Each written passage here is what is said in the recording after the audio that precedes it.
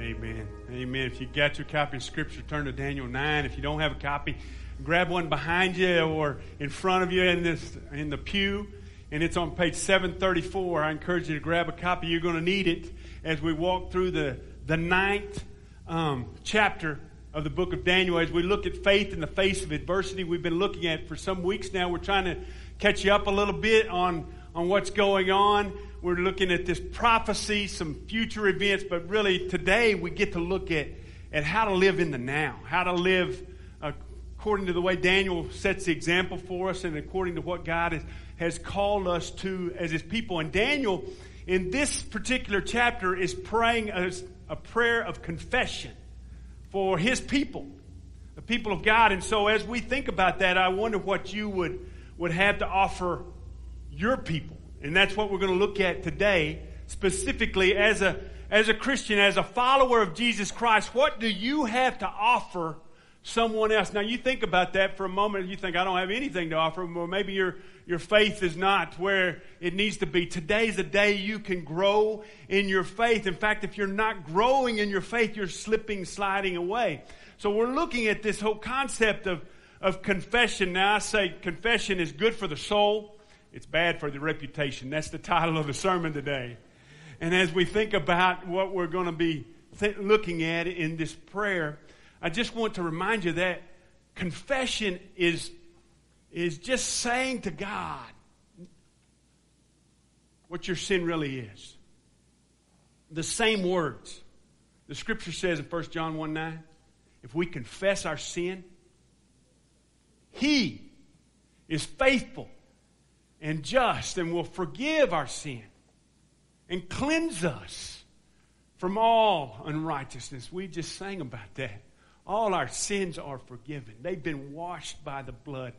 But if you don't confess those things before the Lord, you're not experiencing the cleansing power of of that blood. And so that word confession is the, is the word homologeo, which means the same words. So if you steal something, you call it stealing. You don't say, well, I just borrowed it until somebody else recognized that and then I'm going to give it back.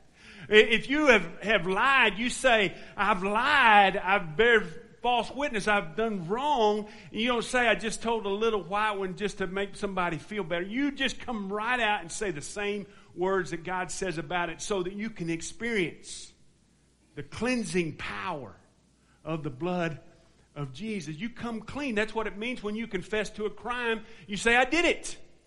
I've done wrong. I'm willing to face the consequences of all that I've done wrong. Daniel's praying that for his own people today as we look at this particular section. Everybody's got something to confess, even preachers whether you recognize that or not, don't say that too loud there, Casey. And, but there, there's an old story I, I want to share with you. Four preachers just kind of, um, just kind of relaxed, kind of informally sharing their weaknesses with one another. A group of preachers. And the first one says, You know, I steal. I, I don't want to. It's a horrible thing for a preacher to steal, wouldn't you agree? And, and so I take things that are not that don't belong to me. I don't know why I do that. The second one said, I, I struggle with alcohol. I like it, and sometimes I indulge it. A lot of times I indulge in it too much. The third one says, oh, well, I like women. I love beautiful women. These are bad preachers, are they not? You think about that? And the fourth one says, Well, my weakness is gossiping. I can't wait to get out of here. We've all got something, don't we? We've all got some kind of weakness that we need to confess before the Lord, some kind of mistake that we've done. And sometimes we uh, let those things go and go and go until we're hardened in our hearts that it's no longer sin. But we want to keep a short list with the Lord. So you think about those things as we walk through this. What do I need to make right with God? Because God has offered forgiveness through the blood of Jesus Christ for everything that you've said, done, thought, but you need to claim that. And if you've never claimed his, his promise that he died in your place for your sin, the gospel, you need to do that first and foremost and enter into a relationship with him through what Jesus has done for you. It gives us access to the Father. So we look at this passage of Scripture, it's a, a part of this book of Daniel we've been walking through. And this is apocalyptic literature. Now, just a little review for some of you who haven't been here. Apocalyptic literature has to do with an unveiling. God showing us the end times. God showing us the futures to a certain degree. But the first six chapters of Daniel are not like that. The first six chapters are historical, so it talks about things like uh, Daniel in the lion's den. That was our first week. That's in chapter six. And we, we uh, looked at the fiery furnace, the Shadrach, Meshach, and Abednego, and how God rescued them out of there, and then the handwriting on the wall. So there are historical events that take place, and God is showing us the, the span of human history we've gone over and over again in Nebuchadnezzar's dream in chapter 2 and again in Daniel's vision in chapter 7. So you, you might want to review those or might want to listen online. All those things are online just to kind of catch yourself up. Even if you haven't though, you can, you can follow along what we're doing today. And so I'd encourage you, you hadn't stepped into, a, into the middle of somebody's conversation. God's word will speak to you if you'll allow that to happen. And as we, we think about this whole concept of apocalyptic literature, there's all these symbols and images. Not so much today. There are a few numbers that we're going to deal with in the at the end here of chapter nine, but primarily it deals with Daniel's prayer, and so we're going to look at the preparation for that. But when we think about a prophecy or a prophet, and this is part of what the people of God did. They didn't listen to the prophets God sent to them. Now, the prophets served two roles. They, they shared the future, of what God was going to do, but they also were forthtelling. They weren't just foretelling, they were forthtelling what we need to do now. They were kind of like preachers. And because the people of God didn't listen to the prophets, the preachers of their day, they faced the judgment of God. That's a word I want you to hear today. If you don't listen to the preacher today, you're going to face. That's what happened in, in uh, the Old Testament. But as we think about the truth of God's word, we know that there's something in it for us to see about who God is and his character. I hope you'll, you'll grasp that in this chapter. And there's something to see in it about us, about who we are as humanity, as we, we try to connect and relate to God. And then there's something in this that we are to do, how we are to put it into practice or apply it to our lives. And then always, always, something to share. Every time you come to a passage, think about those four questions. What's it say about God? What's it say about us?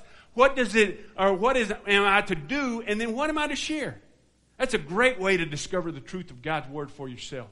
So I just encourage you to do that. I've, some fellows have shared that with me recently, and I wanted to share that uh, with you as well. So when we look at this prophecy, I want to share a, a quote with you from Winston Churchill in World War II, he said these words as he was giving a, a press conference in the midst of the war on February 1st, 1943. He said, I always avoid prophesying beforehand because it is a much better policy to prophesy after the event has already taken place.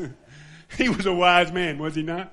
I guess that's one way of making sure that he would be a true prophet. But in the scripture, you knew a true prophet if what they prophesied came true. And if it didn't, they stoned them, they killed them. So this is serious business, this prophecy deal. Uh, Deuteronomy 18:22 says, "When a prophet speaks in the name of the Lord, if the word does not come to pass or come true, that is a word that the Lord has not spoken. So if it's not, it doesn't come true, it's not true prophecy, and they got rid of the prophet. So when we look at, at what Daniel is saying here, we know in several places in the book of Daniel, there are things that he has been given in, in dreams and visions that have already come true. And that's true of all pro- prophecy in the Bible. A lot of what was given to them, it was future for them, but it's past for us. But a lot of what was future for them is future for us too. Especially as we deal with the end times. Obviously, it's not the end times yet. We haven't come to the end yet. Jesus is not back yet. And so when we think about what's going on in this particular uh, chapter, we're going to see the last verse especially is a, a future sort of event.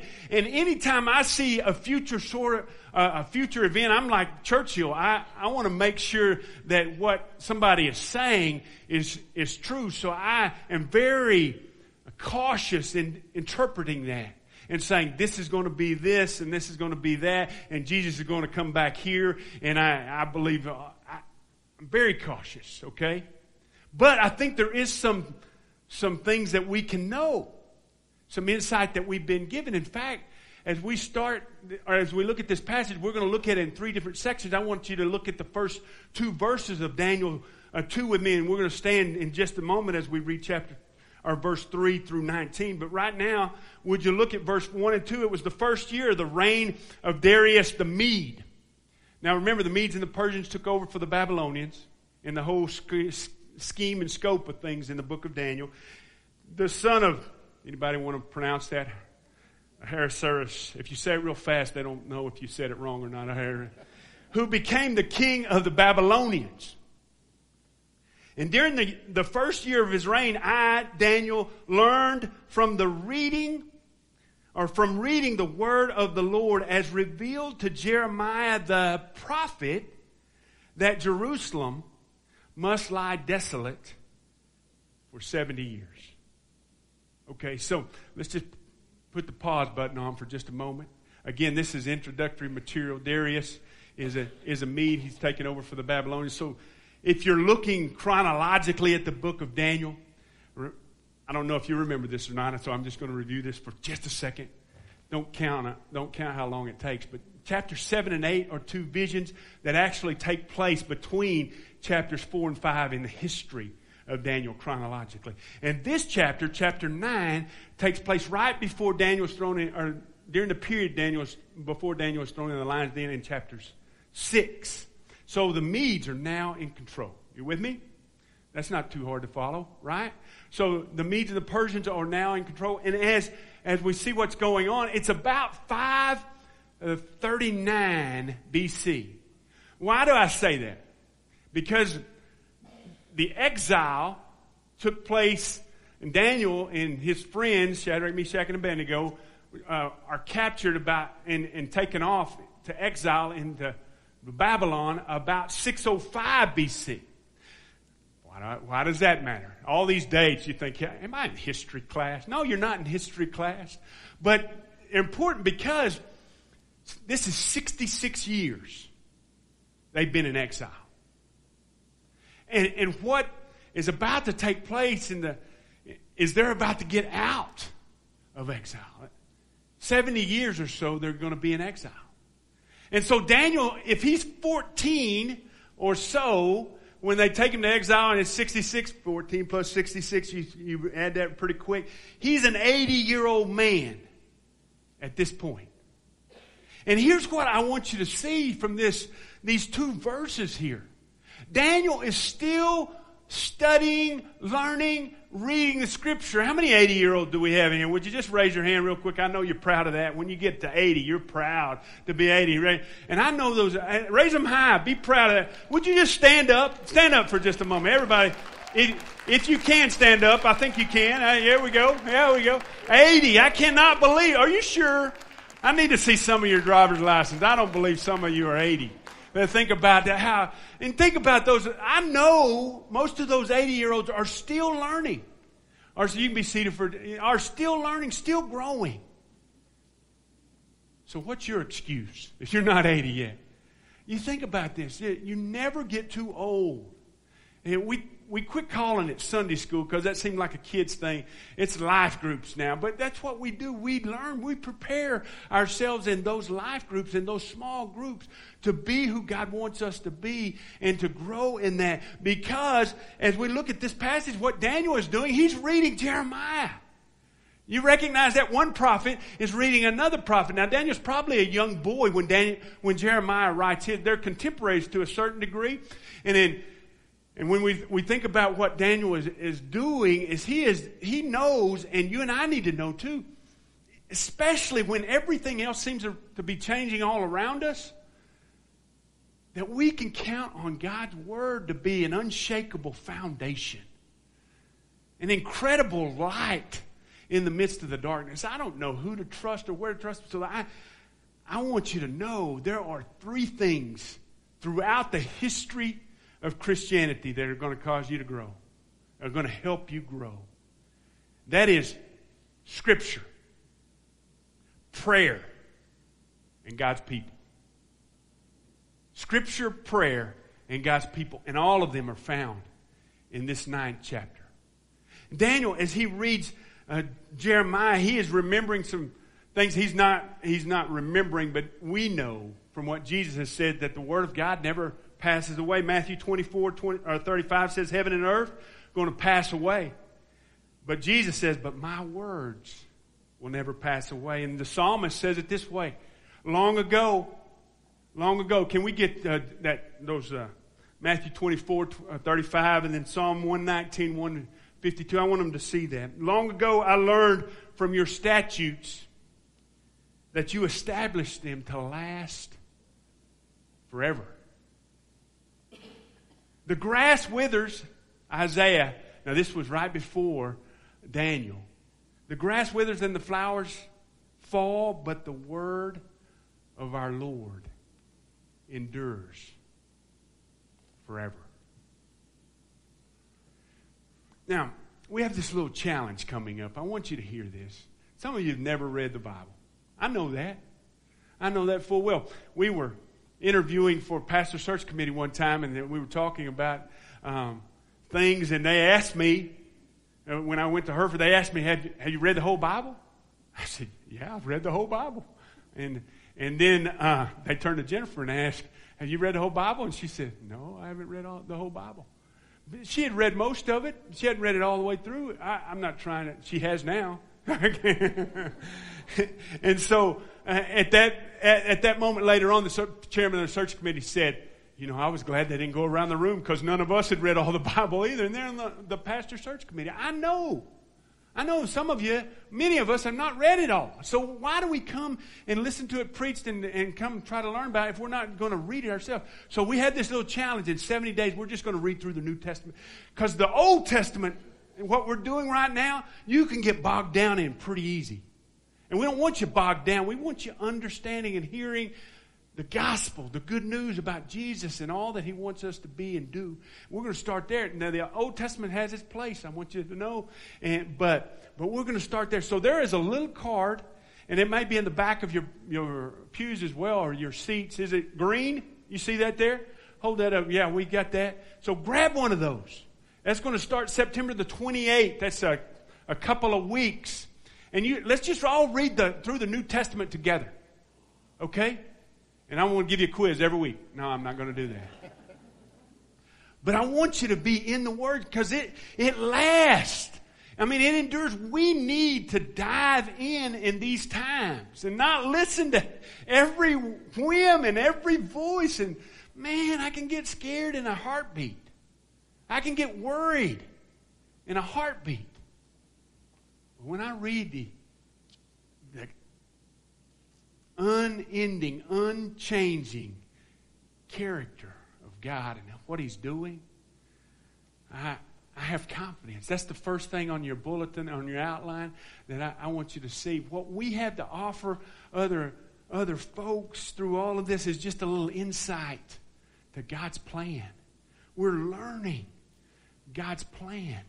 And Daniel was learning from another prophet, uh, Jeremiah. And Jeremiah was saying things like this even before the exile. Remember, they're in this strange land. He was saying in Jeremiah 25, 11, and 12, before it ever happened, the whole country will become a desolate wasteland, and these nations will serve the king of Babylon 70 years. But when the 70 years are fulfilled, I will punish the king of Babylon and his nation in the land of the Babylonians for their guilt, declares the Lord, and will make it desolate forever. So he's saying, years before this happens, God's going to bring judgment on his people because they're not turning away from idols and they're not turning away from their own ways. They're not doing what I've called them to do through the prophets. In fact, they are mistreating and abusing the prophets. And there's coming a day where I've had enough Folks, that still happens in our day. I don't know that God causes everything that happens, but He certainly uses everything that happens in our world. And He, can you imagine? I mean, you, you watch enough, you see enough, you know enough to know. It got to be a day where God says, that's enough. Let's do something to get these folks' attention. Is that our day? Could be. We better wake up. Pay attention.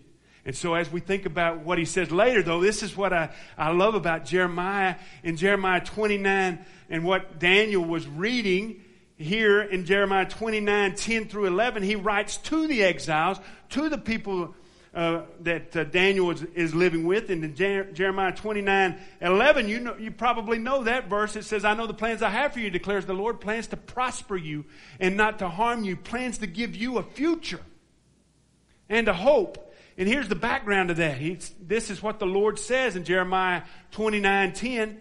You'll be in Babylon for 70 years. He, he again says that. But then, and that's almost over in the book of Daniel, but then I'll come and do for you all the good things I've promised and will bring you home again, back to the promised land. For I know the plans I have for you, says the Lord. They're plans for good and not for disaster, to give you a future and a hope. And in those days when you pray, I'll listen. And if you look for me wholeheartedly, if you seek me, you'll find me when you search for me with all your heart, and I'll be found by you, says the Lord, and I'll end your captivity and restore your fortunes, and I will gather you out of the nations where I sent you, and will bring you home again to your own land. That's a good word, is it not? To people who are in a strange land, God wants to bring us home. I don't know if things are ever going to get back to normal. I don't know what normal is anymore, but I know He wants to bring us home. So when we think about what we are to do in order for that to happen, we pray and we seek Him and we seek Him wholeheartedly we seek Him in His Word because what we have to offer the other folks in our world is an understanding of God's working and God's plan and an insight that He's given us from His Word. Second thing I want you to see is found in verses 3 through 19. Would you stand in honor of the reading of God's Word? And we're looking at Daniel 9 3 through 19. Grab that copy, verse or page 734 if you don't have your own copy. Daniel says, So I turned to the Lord God and pleaded with him in prayer and fasting. I also wore sackcloth and sprinkled myself with ashes, and I prayed to the Lord my God and confessed, Oh Lord, you are a great and awesome God. You always fulfill your covenant and keep your promises of unfailing love to those who love you and obey your commands. But we have sinned and done wrong. We have rebelled against you and scorned your commands and regulations. We have refused to listen to your servants, the prophets, who spoke on your authority to our kings and princes and ancestors and to the, all the people of the land. And Lord, you are right. But as you see, our faces are covered with shame. This is true of all of us, including the people of Judah and Jerusalem and all Israel scattered near and far, wherever you have driven us because of our disloyalty to you. O oh Lord, we and our kings, princes, and ancestors are covered with shame because we've sinned against you. But the Lord our God is merciful and forgiving forgiving, even though we have rebelled against him. We have not obeyed the Lord our God, for we have not followed the instructions he gave us through his servants, the prophets. All Israel has uh, disobeyed your instruction and turned away, refusing to listen to your voice. So now the solemn curses and judgments written in the law of Moses, the servant of God, have been poured down on us because of our sin. You have kept your word and done to us and our rulers exactly as you warned. Never has there been such a disaster as happened in Jerusalem. Every curse written against us in the law of Moses has come true. Yet we have refused to seek mercy from the Lord our God by turning from our sins and recognizing His truth. Therefore, the Lord has brought upon us the disaster He prepared. The Lord our God was right to do all these things, for we did not obey Him. O Lord our God, you brought lasting honor to your name by rescuing your people from Egypt in a great display of power. But we have sinned and are full of wickedness. In view of all your faithful mercies, Lord, please turn your furious anger away from your city, Jerusalem, your holy mountain. All the neighboring nations mock Jerusalem and your people because of our sins and the sins of our ancestors. Oh, our God. Hear your servant's prayer. Listen as I plead. For your own sake, Lord, smile again on your desolate sanctuary. Oh my God, lean down and listen to me. Open your eyes and see our despair. See how your city, the city that bears your name, lies in ruins. We make this plea not because we deserve help, but because of your mercy. Oh Lord, hear. Oh Lord, forgive. Oh Lord, listen and act. For your own sake, do not delay, oh my God, for your people and your city bear your name. You may be seated as we look at that a little more. What's he doing? Of course, he's, he's confessing that we, like we talked about, but he's, he's also asking God for mercy, and that's what we had to offer our world is intercession. Boy, when we did the pizza and prayer thing, uh, we were amazed that people would come and just have their hearts broken because we were actually praying for them and praying for our community. And we think about how much our world needs prayer. People will respond. I've never been, not one time in my life have I ever asked, Can I pray for you? Have I ever at one time been rejected? And that's the thing that we can offer other folks if we will. We don't have to do it in a weird sort of way, but we can do it in a real personal sort of way. When someone's hurting and we don't know what to do and we don't know what to say, uh, here's what we do as preachers. We always say, let's pray. let's pray. I don't know what else to do. But isn't that the response all of us should have? Even if we don't do it out loud and vocally, and I know that's uncomfortable for a lot of you folks, would you do it? Would you pray? Would you intercede on their behalf? Think about the impact that the prayers of one person has had in the scripture. God wanted to wipe out his people. And Moses in Exodus 32 and Numbers 14 said, No, Lord, hold off on that. Because of your mercy, because of what you've done, don't do that, Lord, please. Please hold back your hand of judgment on your people. There's a period of time when it, the, in the world it doesn't rain. Elijah prayed that it would not rain because the people of God needed to experience a, a time of famine and drought. And it didn't rain. And then Elijah prays again in 1 Kings 18 and intercedes and it rains. Well, there are some farmers in our world who need Elijah in their lives, don't they? And, and James 5 16 says, The prayer of a righteous man availeth much, uh, gets a lot done, is effective. It also says in that passage, if you can if you'll confess your sins to one another and pray for one another, that you'll be healed. So here's what I want you to do right now. Confess your deepest, darkest sin to that person next to you and allow them to pray for you and you'll be healed. Nah, I'm just kidding. Just kidding. But there ought to be somebody in your life that you can be honest with I'm not a priest. You don't come to me in confession. But There's ought to be somebody.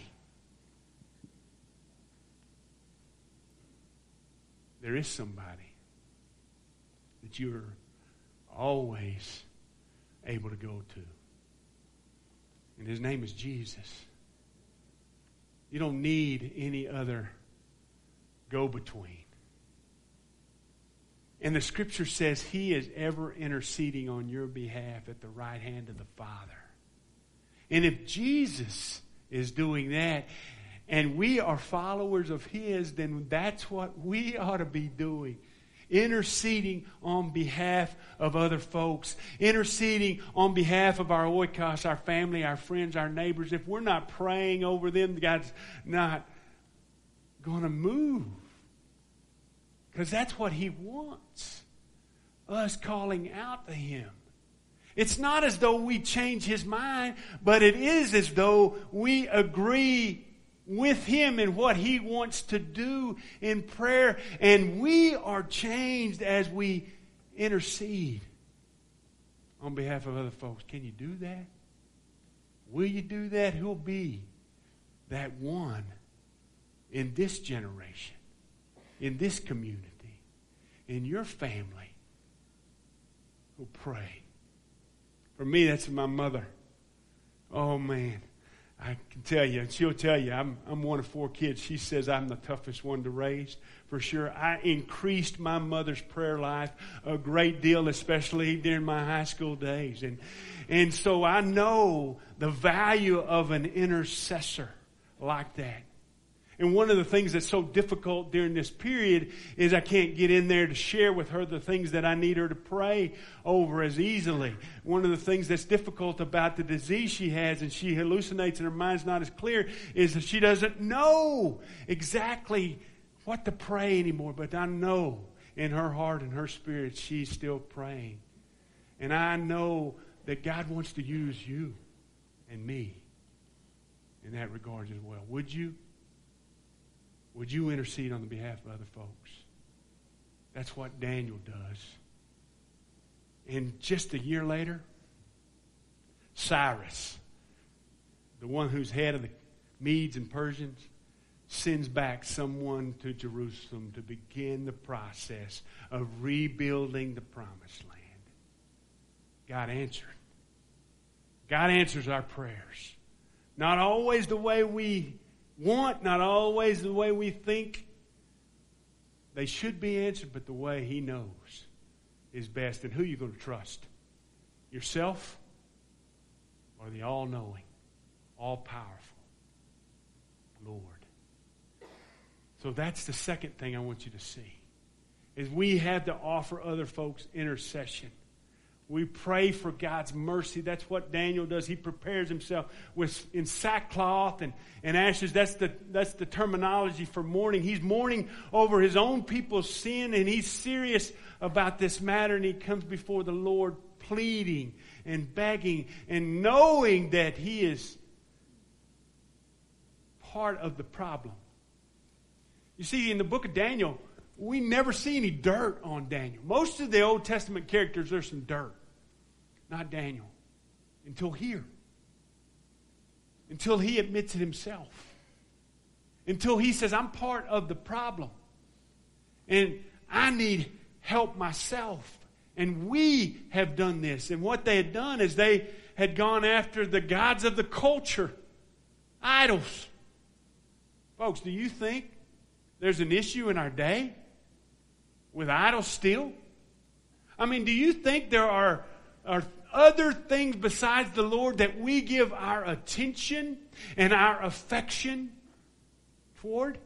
You think I'm not an idol worshiper? I don't, I don't have a little statue I bow down to. But oh man, no, it's made of metal, or it's made of brick, or it's made of, of whatever. It's made of, of sports teams and sports logos, or it's made of all those things that are such blessings to us, we have become made obsessions in our day and really have been stripped away from us. So it can be anything like, like money or it can be th- stuff like pleasure or comfort or anything that we seek after and that's what we want more than anything else is an idol. Because what we as the people of God, as followers of Jesus Christ, ought to be seeking after is His kingdom. Seek ye first the kingdom of God and His righteousness, trying to be like Him, and all these other things will be added unto you. Does that mean you're going to be rich? No. I don't know. Maybe.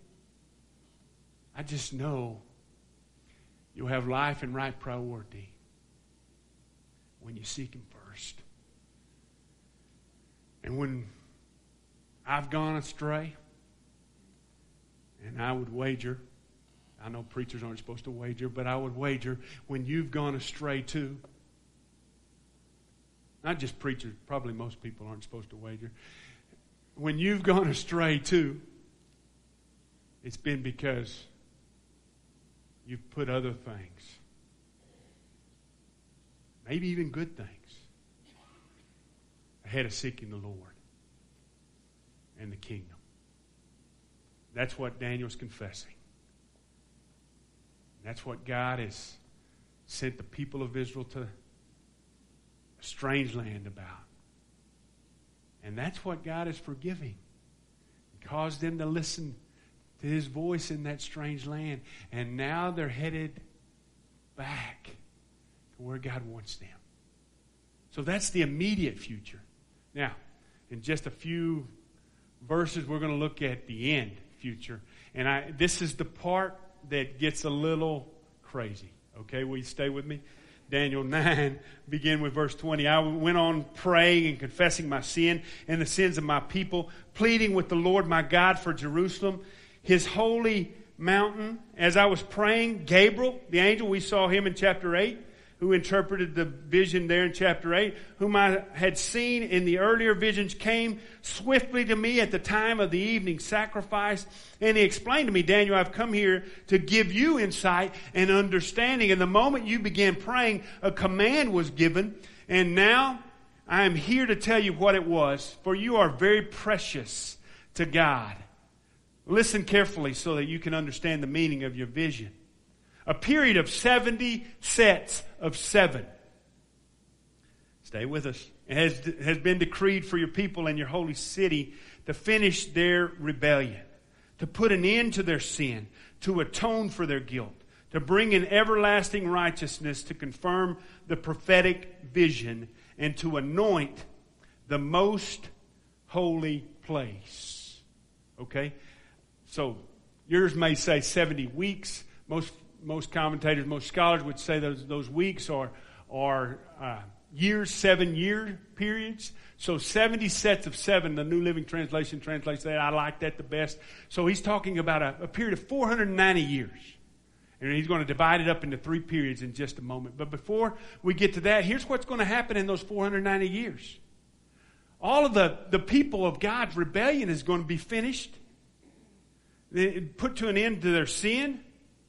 And here's the key their guilt is going to be atoned for. To bring in everlasting righteousness, to confirm the prophetic vision, and to anoint the most holy place. And this is the most important part about these last few verses I want you to, to hear. Okay? What's taking place here is the plan that God has put in place for redemption for his people. You see, our rebellion hasn't finished, has it? And, our there's not an end to our sin. We still sin as the people of God. But the key is the atonement for our sin. We couldn't live the law perfectly, and we still can't.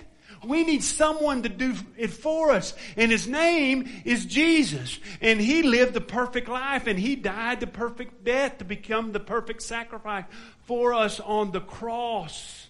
He did what we could not do. And he brought us back to life in the process of doing it. He atoned for our guilt. And the righteousness that we have, the everlasting righteousness, is not our own, it's His. And the, the vision, the prophetic vision of the future is, is brought about by him, and he's the one who took the place of the most holy place, and, and the temple curtain was torn. Because now everybody has access to God the Father through what Jesus has done. And that took place in a period of, of 70 sets of seven. So if you want to go through the numbers with me for just a moment, you can do that. But I'm not going to cover all, all of that. And I think most of that is symbolic anyway. But there's a period here when they say when they send Ezra and Nehemiah back from the exile to rebuild the temple and rebuild the gates and rebuild the walls in, in the Old Testament. That's about oh 400 or um, 457 to 445 BC. So we got 490, and it's divided up into these three sets. The first group is seven sets of 70, or seven sets of seven, which is 49 years. And, and then the second set is um, 62 sets of seven, which is 342 years. And then the last set is seven years, and that's the future part in, in verse 27. So look at those with me. Verse 25 Now listen and understand seven sets of seven plus 62 sets of seven plus will pass from the time the command is given to rebuild Jerusalem under a, a ruler, the anointed one. That's the period of time it took from the exile to get to the anointed one, the Messiah, the Christ, Jesus, the atonement. This is happening hundreds of years before. Daniel's saying what God has told him to say. There's coming a moment when your sins that you could do nothing about, that you can't quit committing in your own power,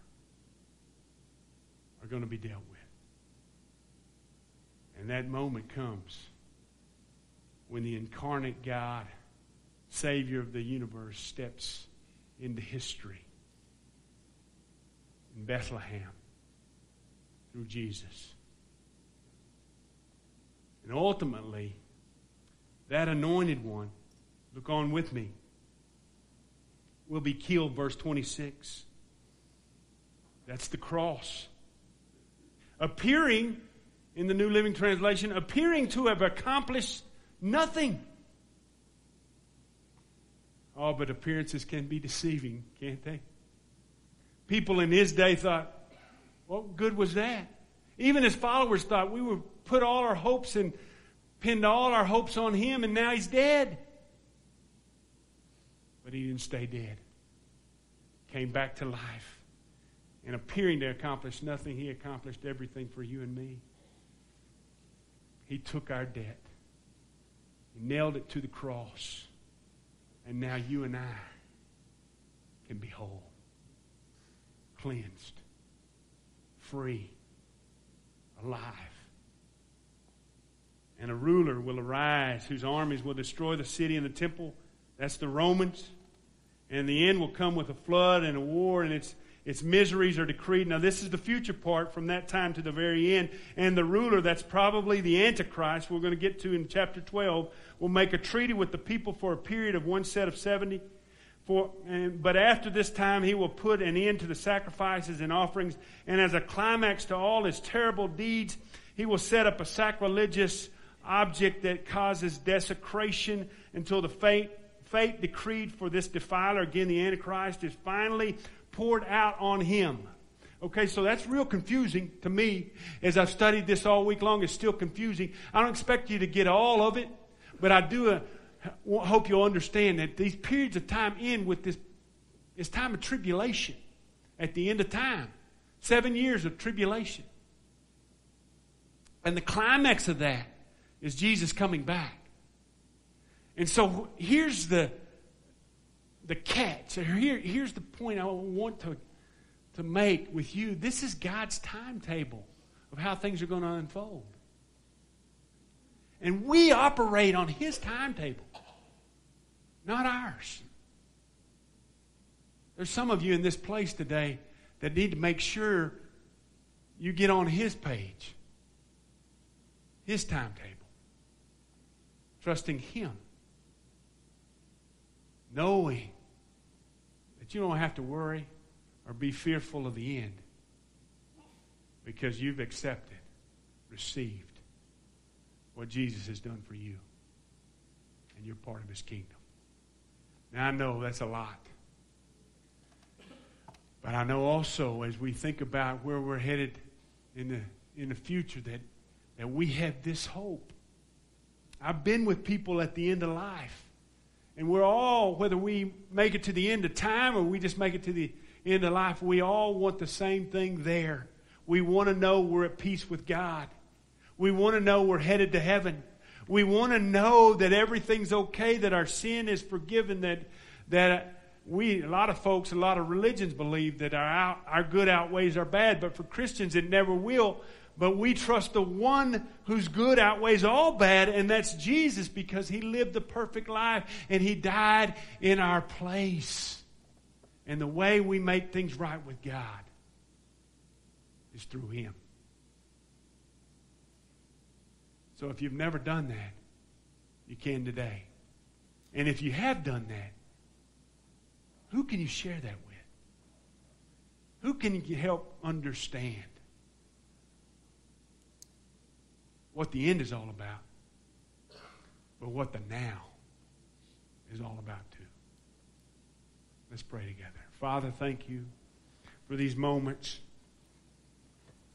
Lord, I ask that in these moments that your people would consider who they could pray with, pray for. Lord, I ask that you would show more of what you're doing in our world to us. Not just so our, our minds would, would get puffed up with knowledge and we think we're smarter or, or, we think we're holier, but so that we can help. So we can help people who are hurting. So that we can come and know, Lord, that you receive us just as we are, but you're in the process of changing us, making us more like Jesus. I pray, Lord, that it, whoever's in this place that doesn't know for sure they're in your kingdom, that you'd show them. It starts with confession, admitting they need you, believing that you've done what you've done is for them on the cross, Jesus, and then choosing this day to follow you. Lord, I pray for other folks to be a part of the workers, the harvest, the church. I pray for folks in this place to recognize that it's not just coming and doing the religious thing, that it's becoming an army for you and your kingdom. Prepare us, Lord. Continue to prepare us. For the battle's coming. The battle's here. Your holy name we pray. Amen. Would you stand as we sing? I invite you to respond as God leads you, just as I am. He receives us that way, loves us too much to leave us that way. Maybe there's somebody you need to pray for at the altar. Maybe you need to pray with me, or maybe you need to be a part of this church. Wants to be faithful to the Scripture and to the Great Commission of God. We'd invite you to, to come. Whatever God leads you to, would you respond to Him right now? We're singing God.